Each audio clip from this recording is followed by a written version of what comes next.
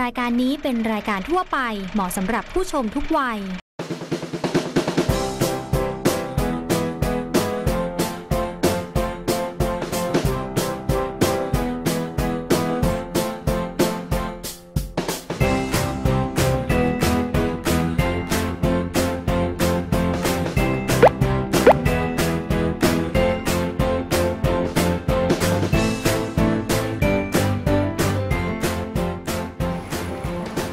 วัสดีครับ สวัสดีค่ะ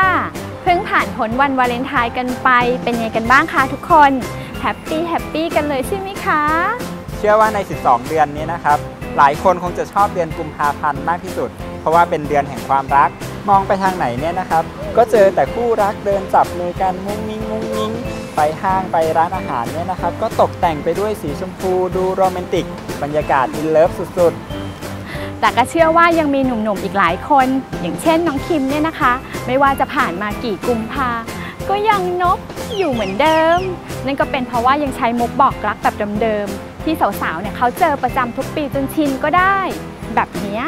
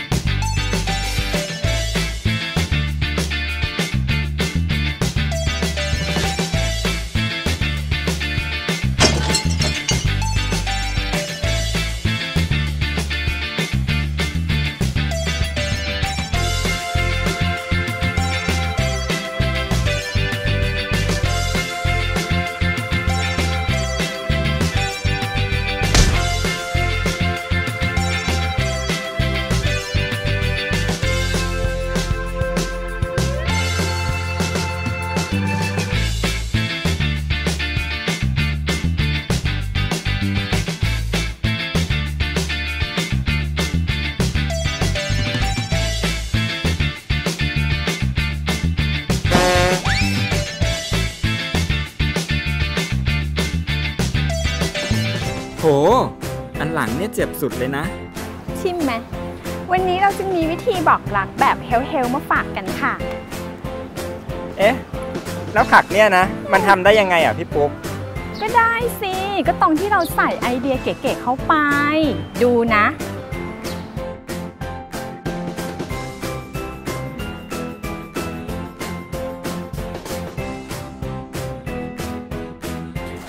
เป็นไง